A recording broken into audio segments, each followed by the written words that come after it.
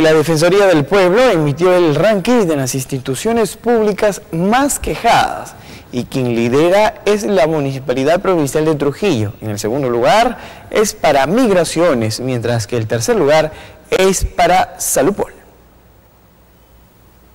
Este 2022 a la Municipalidad Provincial de Trujillo no le fue bien. En el ranking elaborado por la Defensoría del Pueblo, la Comuna Provincial encabezó las 10 instituciones públicas más quejadas, incluso a nivel nacional. Eh, la omisión que tiene la municipalidad a responder las solicitudes de los ciudadanos, la omisión de la municipalidad en, resolver las quejas que tienen los ciudadanos por ruidos molestos, eh, por locales inadecuados, Em, por falta de fiscalización, por no atender sus, demandas, por, el no recojo de residuos sólidos eh, domiciliarios en las calles. Eh, eso ha generado pues que la municipalidad sea eh, la más quejada en el año 2022. El incumplimiento de obligaciones laborales también jugó en contra de la Municipalidad Provincial de Trujillo. El segundo lugar de las instituciones públicas más quejadas fue para la Oficina Zonal de Migraciones.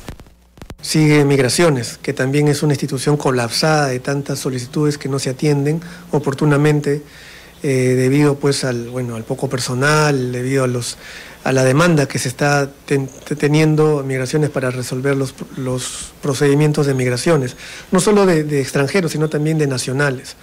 Así que hay que ahí este, reforzar Migraciones para que pueda atender oportunamente las solicitudes que en realidad rebalsan en esa institución y que no son atendidas.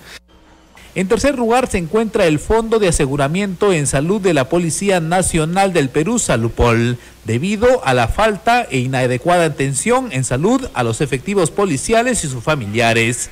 Los policías y sus familiares no tienen una buena atención médica eh, para su salud.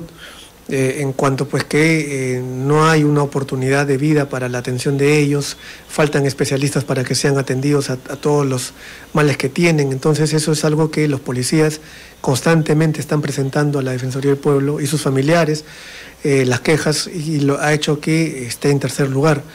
En cuarto lugar está la UGEL Virú, con la cantidad también de demandas que, quejas que tiene y que no han sido resueltas. En quinto lugar de las instituciones más quejadas está Sedalib.